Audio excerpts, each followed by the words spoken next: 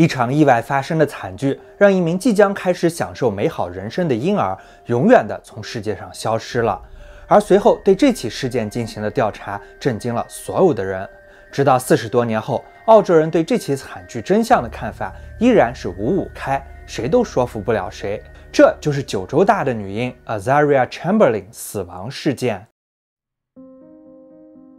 在澳洲大陆的中部，是一大片平坦又干旱的荒原。在这片一望无际的旷野中心，突兀地矗立着一座火红的山丘，它突出地面三百四十八米，由一整块的砂岩形成。这就是世界闻名的乌鲁鲁山，也是当地原住民的圣地。关于它的由来传说，也似乎和它血红的颜色一样，充满了令人不寒而栗的鲜血和暴力。其中的一种说法是，在上古时期，一名天神和企图毁灭世界的魔王发生了大战。他们争斗时，双方流出的血混合在了一起，其中的一滴掉落到了地面，就形成了乌鲁鲁山。在夜深人静的时候，依然能够听见山的内部传出刀剑碰撞的厮杀声，那是来自神和魔的血液依然在山的内部战斗的证明。还有一种说法是，当地原住民的祖先部落之间曾经在这里发生了一场惨烈的战争，流出了大量鲜血，浸透了地面。大地女神因为悲痛，就让沾染了血液的地面隆了起来，形成了这座山峰。因为这些充满了血腥味的传说，乌鲁鲁山也一方面被原住民当作圣地崇拜着，一方面也被人称为受诅咒的山峰。传说，如果有游客胆敢从这里带走一小块石头的话，厄运就会不断的跟随这个人。不过，好奇是人类的天性，每年依然会有大量的游客来一睹乌鲁鲁山的美景。一九八零年的八月十七日，一对姓 Chamberlin 的年轻夫妇带着他们的三个孩子来到了乌鲁鲁山脚下的露营地，准备在这里度过一个悠闲的假期。丈夫 Michael 是一名作家，同时也是基督教基督复临安息会的一名牧师。母亲 Lindy 是一名全职妈妈，专职于照顾两个年幼的儿子，还有刚刚降生九个礼拜的小女儿 Azaria。在搭好了帐篷，并且和周围的其他露营游客们打了一圈招呼之后，Chamberlain 一家人就发现，除了其他的游客之外，还有一种被当地人称为 Dingo 的澳洲野狗，也大量的围绕在露营地的周围。这是一种和家犬很像的犬科动物，它们和人类的关系非常微妙，处于半驯化半野生的状态。在有人愿意给它们喂食并且圈养的情况下，它们很快的就能够表现得像真的家犬一样忠心。而一旦被放归野外，它们也会很快的野化，能够单独或者集体捕猎小型动物来生存。因为外形真的很像狗，也没有听说过丁狗会主动的攻击人类，所以游客们对于这些安静的徘徊在营地周围，准备捡食他们留下的残羹剩饭的动物，并没有感觉到什么威胁，反而还会时不时的把手上没有吃完的肉骨头扔给他们。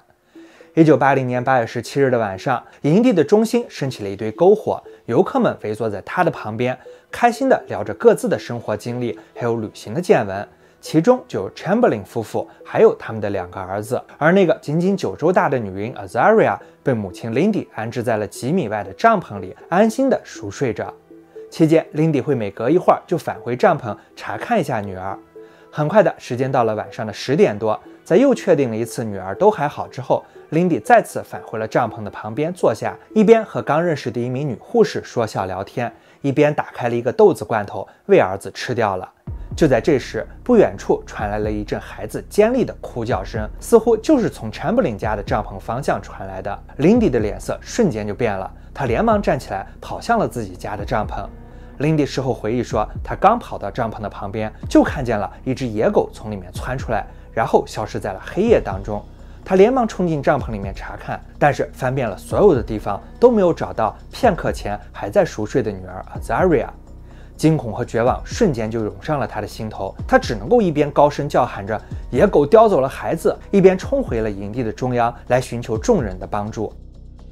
这个恐怖的消息瞬间让之前还弥漫着欢乐氛围的营地炸了锅，游客们立刻就组织了起来，一边联系警方前来支援。一边在营地的周围焦急地搜寻了起来。可惜的是，经过了一个晚上的搜索，Azaria 依然像消失在了空气当中一样，完全没有踪影。第二天，警方组织的专业搜救队加入进来之后，也依然没有任何的发现。直到时间过了一周之后，在距离营地的四公里外，人们发现了 Azaria 失踪的时候穿的婴儿连体衣，衣服的脖颈还有前胸的位置残留着大量触目惊心的血迹。据此，哪怕还没有找到 Azaria，警方也认定他肯定已经不在人世了。那么下一步就是该怎么给这起悲剧定性了？按照 Lindy 的说法，这无疑是一场野兽袭击造成的意外惨剧。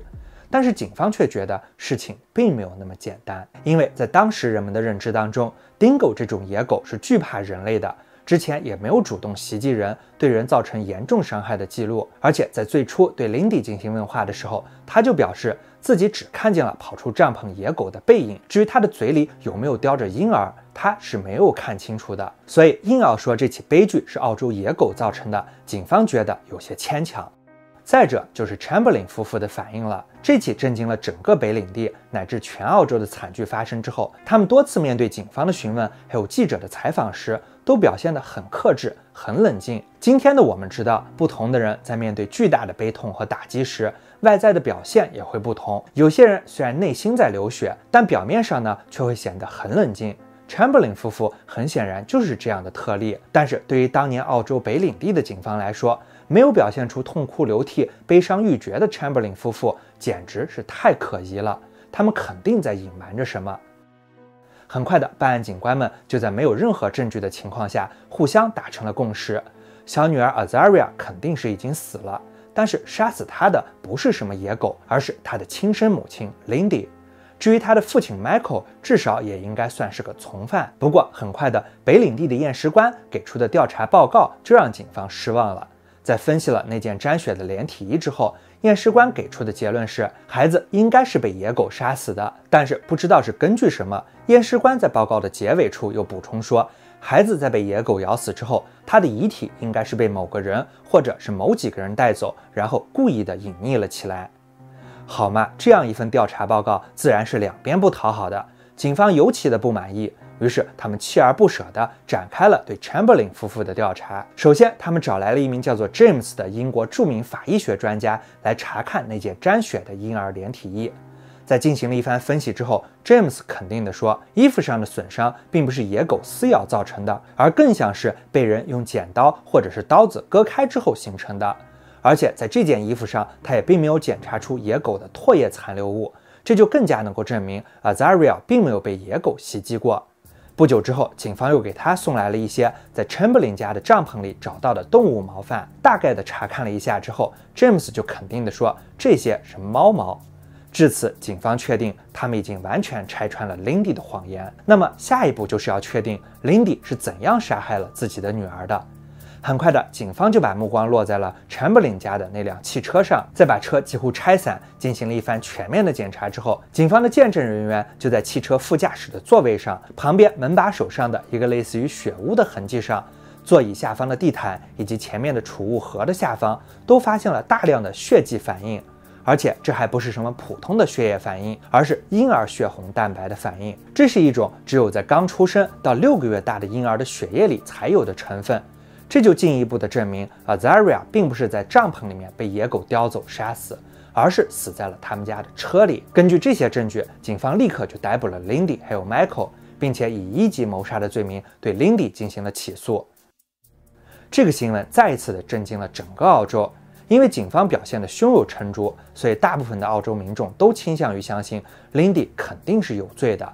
然后，虽然没有我们今天这么便捷的手段。一些好事者也开始对 Chamberlain 家进行了人肉搜索，在发现丈夫 Michael 是富林教会这样一个基督教里比较小众教派的牧师之后，有些人就自行脑补出了邪教献祭的情节。他们甚至打电话给警察说，小女孩 Azaria 这个名字在教会里就是荒野中牺牲的意思，所以这就是 Chamberlain 夫妇杀害孩子的动机。而 Lindy 呢，就是一个女巫。但是事实上，Azaria 这个名字是上帝帮助的意思。不过在那种情况之下，估计就算有人和他们解释，这些人也不会听进去的吧。于是就在这样几乎一边倒的民意之下，审判开始了。此时已经是一九八二年底，惨剧发生的两年之后了。Lindy 也再次的怀孕，挺着大肚子坐上了被告席。法庭上，检方对着陪审团描绘出了这样一个恐怖又残忍的情景：在一九八零年八月十七日的晚上，Lindy 在最后一次借口回帐篷查看女儿的情况时，把 Zaria 抱了出来，然后坐进了停在旁边的车里。在副驾座上，他残忍地割喉，杀害了自己的女儿，又把她塞进了一个行李袋当中。随后，林迪再次返回了篝火旁。几分钟后，他借口说听见了孩子的哭声，跑回了帐篷，假装发现女儿被野狗叼走，开始尖叫呼救。之后，她的丈夫 Michael 借着人们混乱的到处寻找的时机，把孩子的遗体带出了营地，找了一个隐蔽的地方掩埋了。然后，他又把孩子的血衣扔在了很远的地方，伪装了野狗叼走孩子的假象。但是，衣服上的刀痕，还有没能发现野狗唾液的这些事实，都证明 c h a m b e r l i n 夫妇在撒谎。面对检方给出的这些理由，Lindy 的辩护律师也据理力争地表示，警方掌握的全部都是所谓的间接证据。如果他们说 Azaria 是被双亲杀害的，那么动机是什么？凶器又在哪里呢？按照检方的说法，Lindy 要在短短的十分钟内，在距离篝火不到十米远的地方，背着其他的游客们做下这些恐怖的罪行。最后，他身上没有沾到一滴血，还神情自若地回到了篝火旁边，继续喂儿子吃罐头。这种事情，就连最冷血的杀手都很难做到吧？辩方找来的一名见证专家也指出。警方使用的检测血液残留的试剂也是很不可靠的。除了婴儿血蛋白以外，它还会和很多其他的化学物质发生类似的反应，所以不能够百分之百的认定车子里面发现的是血迹，更别说是 Azaria 的血了。至于小女孩的衣服上没有发现野狗的唾液，Lindy 给出的解释是，孩子失踪的时候，除了这件连体衣之外，还穿了一件开衫的外套。野狗咬在了那件外套上，所以唾液才没有出现在下方的连体衣上。但是因为从案发到开庭的这两年间，警方完全没有在周边发现这件外套，所以他们一口咬定 Lindy 是在撒谎，那件外套从最开始就不存在。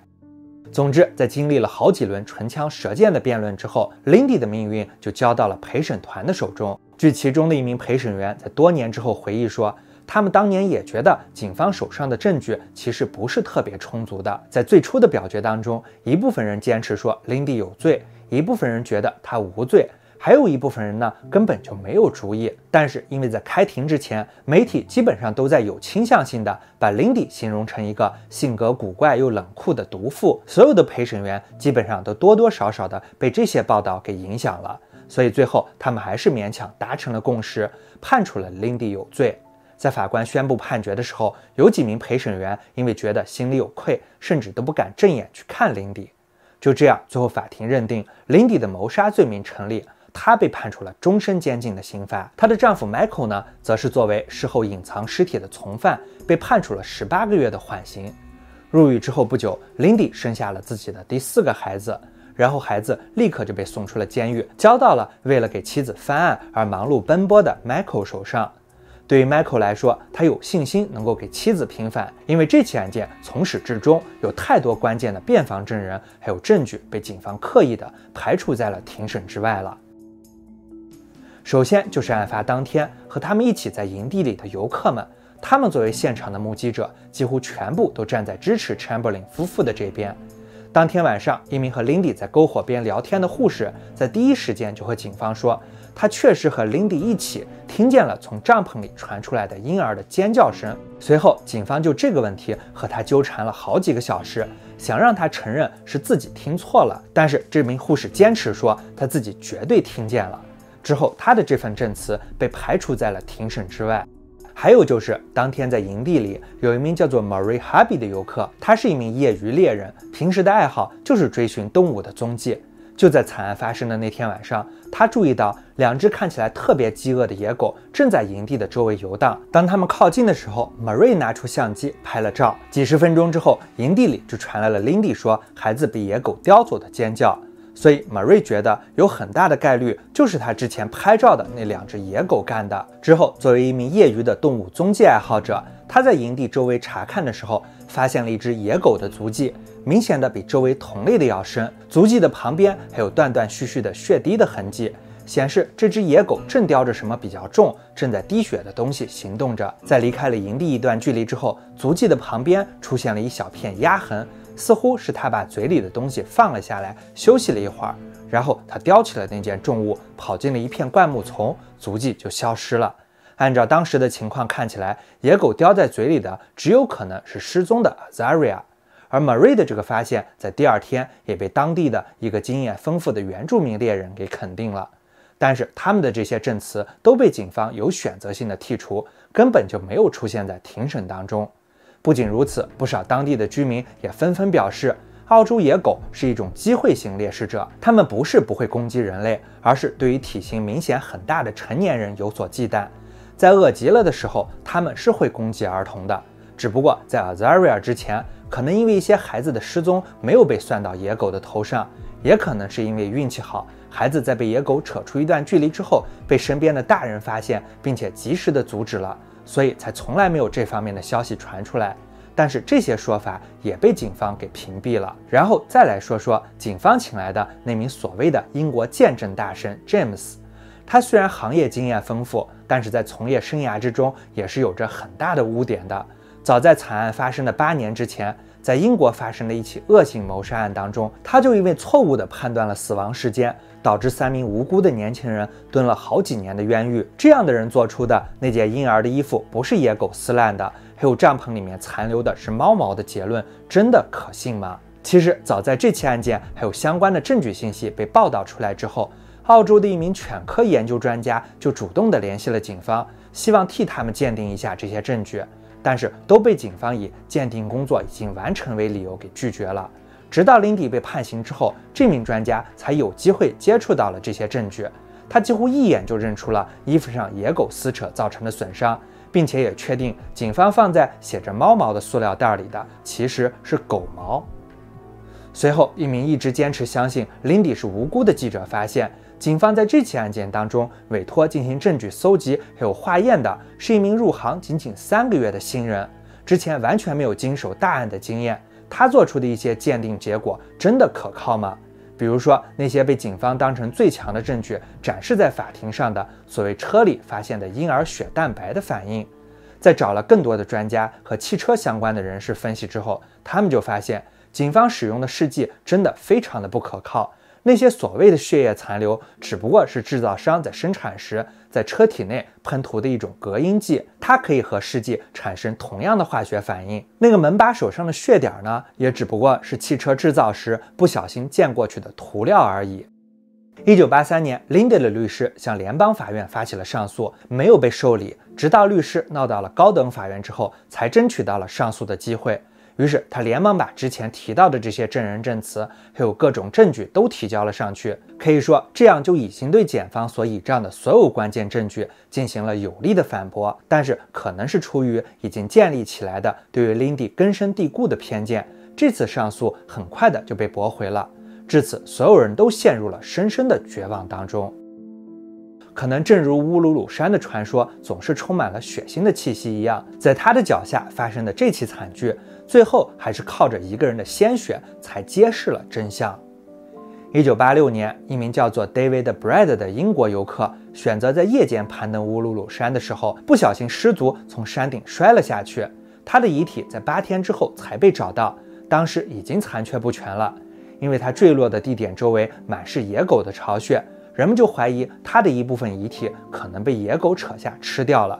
为了把他的尸骨尽量的找齐，警方再次联合当地的一些志愿者，拉开了一条人链，在荒草当中进行搜寻。其中一名叫做 John Busy 的搜救队员，在走过一片草丛时，看见了一件满是血迹的小小的衣服挂在上面，这样的心立刻就狂跳了起来，因为他是当天在场的人中唯一一名在六年前也在附近参与过搜寻失踪小女孩 Azaria 的人，他也一直关注着这起案件。他记得林迪在法庭上描述了女儿失踪时穿在最外面的那件开衫毛衣的特征，但是警方一直都没有找到那件衣服，就据此认定林迪是在撒谎。而现在呢，出现在丈眼前的这件小衣服，完全的符合林迪的所有描述。于是他立刻按照标准程序把这件衣服保存了下来，并且对上级进行了汇报。这件小外套可以被看成是证明 Lindy 无罪的最后一块关键拼图。在得到消息的当天，北领地的首席部长就下达了立刻释放 Lindy 的命令。两年后的一九八八年九月十五日，北领地上诉法院一致推翻了对于 Lindy 还有 Michael 所有的定罪，他们也因此获得了一百三十万澳元的经济赔偿。但是据说这笔钱还不到他们这些年打官司花费的三分之一。这起案件也被后来的法律教科书当成了媒体的不实报道，还有社会偏见对案件的公平审判产生不利影响的典型例子。